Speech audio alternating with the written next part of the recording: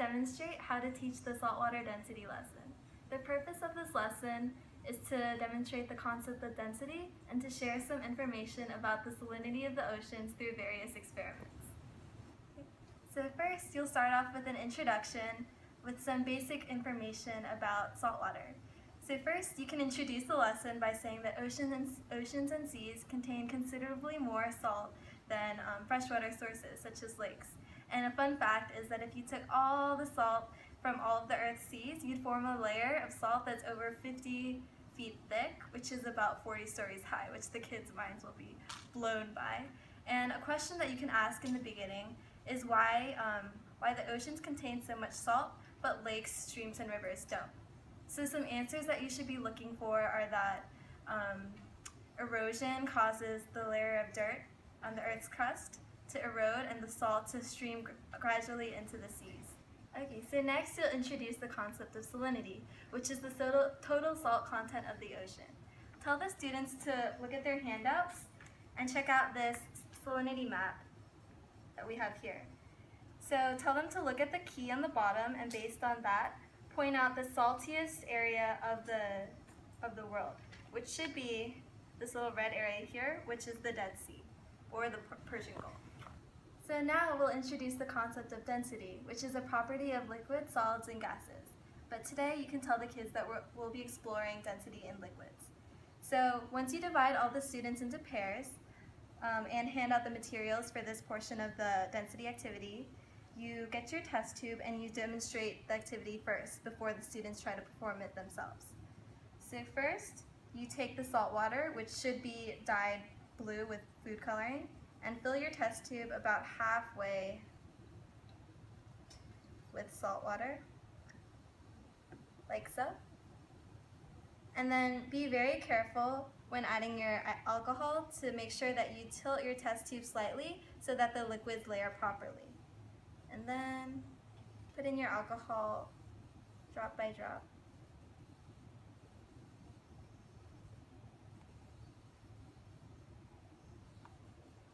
And if you look carefully, you can observe that the two liquids layer because of the difference in densities. So after performing this experiment, ask the kids what they notice about the two liquids. They'll probably say that there's a line in between them, there's two very distinct layers, and you ask them why. So what the answer that you're looking for is that the, the densities of the two liquids are different and that the liquid at the bottom has a higher density, causing it to sink to the bottom, and the liquid at the top has a lower density, causing it to layer at the top. You can tell the students that pure water has a density of about 1 gram per centimeter cubed, and that salt water has a density about 1.027 grams per centimeter cubed, which are numbers that you can write on the board. So now you move on to the polydensity bottle, bottle demonstration. This is a really cool um, demonstration in which you first shake the bottle and then tell the kids to observe what happens. Okay. Probably have to speed up this part.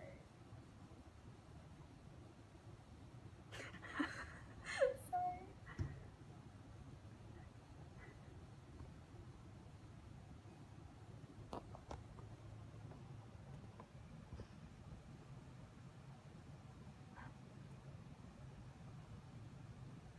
Okay. So then you can move on to ask the kids what happened and why they think it happened. So an observation that they should make is that the two beads as well as the two different liquids in that in the in the bottle separated. Um, and as for why, they should um, make the connection that one of the liquids has a higher density than the other. The liquid on the bottom is actually salt water, while the liquid on the top is isopropyl alcohol, which has a lower density than the salt water. Um, the kids might also make the observation that even though the two beads separated initially, they came back and formed their two separate layers. So um, an observation that they should make is that the two bead colors, the white and the blue, also have two different densities. Since the white beads layer on top of the blue beads, the white beads have a slightly lower density. So next, you'll give the kids some background information on density. You can start off by asking them what they think density is. And the answer that you'll be looking for is that it's the amount of mass in a given volume.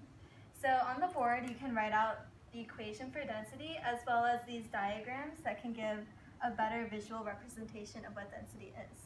Um, an object that has a low density has a smaller amount of particles or mass per this given volume, while an item with a higher density has a higher amount of particles within the same given volume.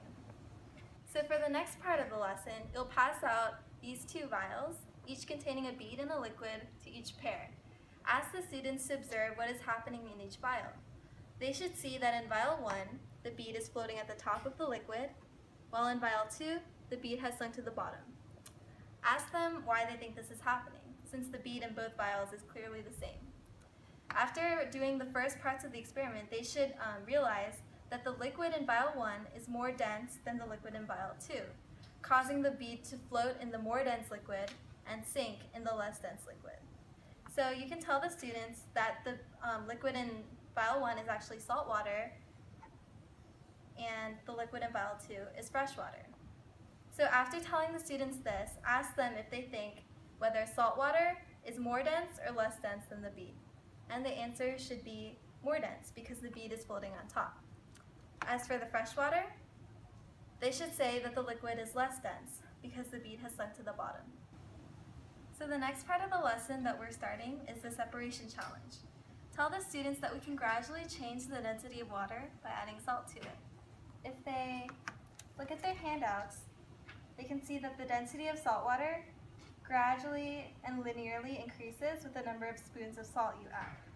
So ask the students what they think will happen as we gradually add salt to this jar with the floating beads and the not floating beads. So the answer should be that some of the beads will gradually start floating as the density of water increases, since the density of the beads compared to the water will change as well.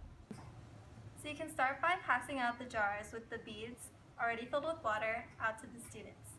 Um, tell them to predict which beads will start floating when you start adding salt. And if some of the beads are initially floating that aren't the clear beads, tell the students to tap them slightly just to break this, any surface tension that might exist and cause them to float. So all of these beads have different densities depending on the color, and these should be on the observation sheet that the students received. So ask them to predict what order they think they will float in. So initially, only the clear beads should be floating. Tell the students to record this on their observation sheet. Fill the spoon with salt and use the popsicle stick to level out any salt at the top of the spoon just so we get a consistent amount every time. Add the salt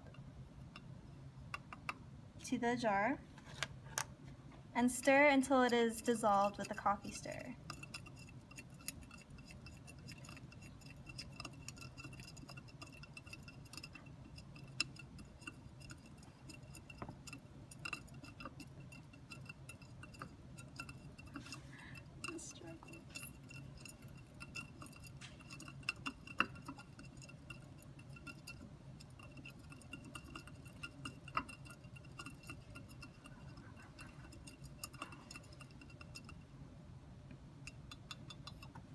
Tell the students to record if any new beads start flowing, floating at the top after each spoonful of salt is added.